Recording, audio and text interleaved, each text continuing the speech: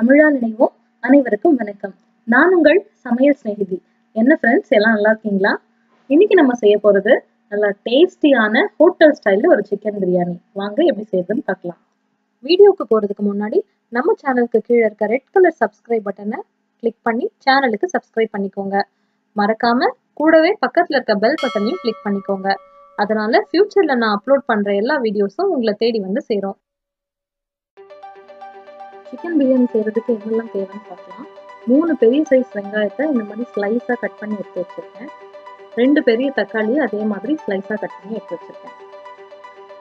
இஞ்சி பூண்டு பேஸ்ட் ரெண்டு ஸ்பூன் அளவு எடுத்திருக்கேன். ஃப்ரெஷ்ஷாக வீட்டில் அரைச்சது. இது வந்து பாதி எலுமிச்சை பழத்தோட சாறு விதை நீக்கி எடுத்து வச்சுருக்கேன். ஒரு அஞ்சு முழு பச்சை மிளகாய் எடுத்திருக்கேன். ஒரு கைப்பிடி அளவுக்கு ஃப்ரெஷ்ஷான கொத்தமல்லி புதினா அலசி எடுத்து வச்சுருக்கேன். பாஸ்மதி அரிசி அரை கிலோ எடுத்திருக்கேன். நல்லா ரெண்டு தண்ணியில கழுவிட்டு தண்ணியை சுத்தமா வடிச்சு எடுத்து வச்சிருக்கேன். இப்படி பண்ணாதான் பிரியாணி குழையாமல் வரும். அரை கிலோ அளவுக்கு சிக்கன் நல்லா வாஷ் பண்ணி எடுத்து வச்சிருக்கேன். இப்போ பிரியாணி பண்றதுக்கு அடுப்புல குக்கர் வச்சு ரெண்டு ஸ்பூன் அளவுக்கு நெய் சேர்த்துக்கிறேன். கொஞ்சம் எண்ணெயும் சேர்த்துக்கிறேன் தேவையான அளவு. எண்ணெய் சூடானதுக்கு அப்புறம் இந்த முழு கரம் மசாலா பிரிஞ்சி இலை கல்பாசி பட்டை ஏலக்காய் மராட்டி முப்பு கிராம்பு இதெல்லாம் சேர்த்துக்கலாம். அந்த முழு பச்சை மிளகா அஞ்சு மிளகாவையும் சேர்த்துக்கலாம். உப்பு வெங்காயத்தை சேர்த்துடலாம். இது நல்லா ஒரு ஒரு நிமிஷம் வதங்கட்டும்.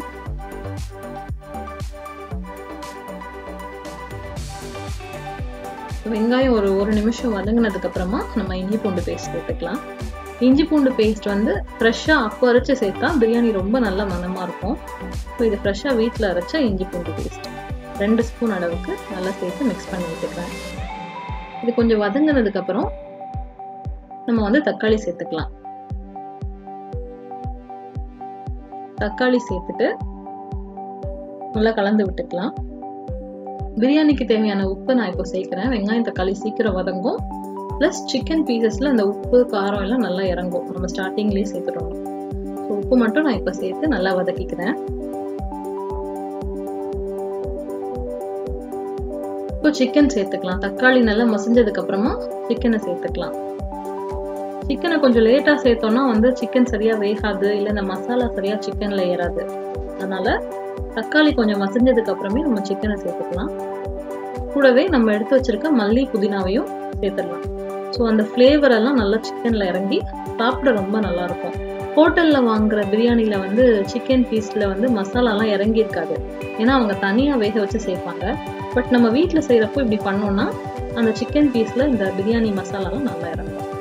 இது வதங்கினதுக்கு அப்புறமா நம்ம எடுத்து வச்சிருக்க தயிர் சேர்த்துக்கலாம். நூறு கிராம் அளவு. ஒரு ஸ்பூன் அளவுக்கு ரெட் சில்லி பவுடர் அரை ஸ்பூன் அளவுக்கு கரம் மசாலா. இதெல்லாம் சேர்த்து நல்லா கலந்து விட்டுக்கலாம். அடி பிடிக்காத அளவுக்கு அப்பப்போ கிளறிக்கலாம் நல்லா. ஒரு பத்து நிமிஷம் நல்லா குக் ஆனதுக்கப்புறம் சிக்கன்லாம் கொஞ்சம் சாஃப்டாக இருக்கும். அடி பிடிக்காம நல்லா அப்பப்போ கிளறி விட்டுக்கலாம். பாருங்க நல்லா க்ரீமியாக வந்திருக்கு பாருங்க அந்த தயிர் மசாலா எல்லாம். இந்த டைம்ல நம்ம அரிசியை சேர்த்துக்கலாம். அரிசியில் அடியில் மட்டும்தான் கொஞ்சம் தண்ணி இருக்கு. மற்றபடி நம்ம தண்ணியை நல்லா வடிச்சிட்டோம். இந்த மாதிரி செய்யறப்போ பிரியாணியில வந்து ரைஸ் குழஞ்சு போகாது. சாதம் உதிர் உதிரா நல்லா ஹோட்டல்ல வாங்குற மாதிரியே வரும். தண்ணி சேர்க்குறேன். தண்ணியோட அளவு பார்த்தீங்கன்னா ஒரு கப் அரிசிக்கு ஒன்றரை கப் தண்ணி. இப்போ நான் ரெண்டு கிளாஸ் அரிசி எடுத்திருக்கேன். மூணு கிளாஸ் தண்ணி ப்ளஸ் சிக்கன் வேகணும் இல்லையா? அதுக்கு ஒரு அரை கிளாஸ் தண்ணி. ரெண்டு கிளாஸ் ரைஸுக்கு மூன்றரை கிளாஸ் தண்ணி ஊற்றிருக்கேன் இதுதான் கணக்கு. இதே ரேஷியோவில் நீங்கள் செஞ்சு பாருங்க. சாதம் குழையாம வரும். இப்போ நம்ம எடுத்து வச்சிருக்க லெமன் ஜூஸ் சேர்த்துக்கலாம். பிரியாணி நல்லா வாசனையாக இருக்கணுன்றதுக்காக ஒரு ஒரு ஸ்பூன் போல நெய் கடைசியா குக்கர் மூடுறதுக்கு முன்னாடி சேர்த்துட்டு கொஞ்சமா ஒரு பத்து புதினா இலையும் சேர்த்துக்கலாம். நல்லா கலந்து விட்டுக்கலாம். உப்பு காரம் அட்ஜஸ்ட் பண்றது டேஸ்ட் பார்க்குறதுனா நீங்க இப்ப பார்க்கலாம் பக்காவா இருக்கு. உப்பு காரம் எல்லாமே சில பேர் உடனே மூடிடுவாங்க குக்கரை. நம்ம கண்டிப்பா அந்த மாதிரி பண்ணக்கூடாது. அரிசியும் தண்ணியும் சேர்ந்து நல்லா ஒரு கொதி வரணும். வந்ததுக்கு அப்புறம் இந்த மாதிரி அரிசி தனியா தண்ணி தனியா தெரியக்கூடாது நல்லா கம்பைன் ஆனதுக்கு அப்புறம் இந்த மாதிரி நல்லா கொதிச்சதுக்கு அப்புறம் தான் மூடணும். அப்பதான் சாதம் உதிர் உதிரா வரும். ப்ளஸ் சிக்கன் நல்லா வெந்துரும். இப்போ நம்ம ஒரு விசில் தான் விட போறோம் இல்லைங்களா?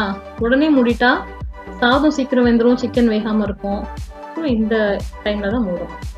இப்போ குக்கரை மூடிட்டு விசில் போட்டுக்கலாம். கரெக்டாக ஒரு விசில் தான். விசில் இல்லைன்னா பத்து நிமிஷம். இதான் கணக்கு. அதுக்கு மேல விடக்கூடாது. இந்த கேப்பில் நம்ம ஆனியன் ரைத்தா செஞ்சுக்கலாம். வெங்காய பச்சடி. ஒரு பவுல்ல தேவையான அளவுக்கு தயிர் எடுத்திருக்கேன். அதில் நம்ம டேஸ்ட்டுக்கு ஏற்ற மாதிரி உப்பு சேர்த்துக்கலாம். இப்போ தயிரை நல்லா வந்து அடிச்சிடலாம்.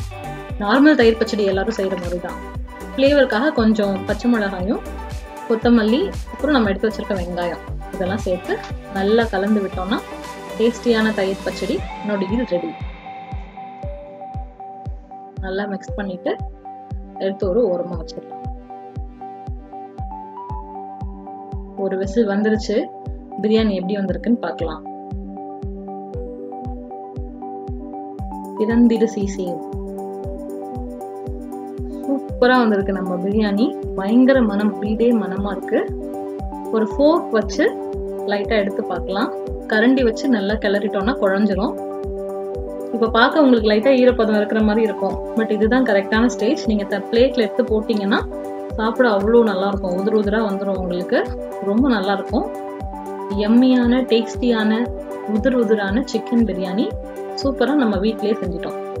எல்லாரும் அதை ட்ரை பண்ணி பாருங்கள் செஞ்சு பார்த்துட்டு எப்படி இருக்குன்னு எனக்கு கமெண்ட் பண்ணுங்கள் இந்த வீடியோ பிடிச்சிருந்தா சேனலுக்கு சப்ஸ்கிரைப் பண்ணுங்க லைக் பண்ணுங்க கமெண்ட் பண்ணுங்க. தேங்க்ஸ் ஃபார் வாட்சிங் மீண்டும் ஒரு நாள் தமிழால் இணையலாம். விடை பெறுவது உங்கள் சமையல் சிநேகிதி. நன்றி வணக்கம்.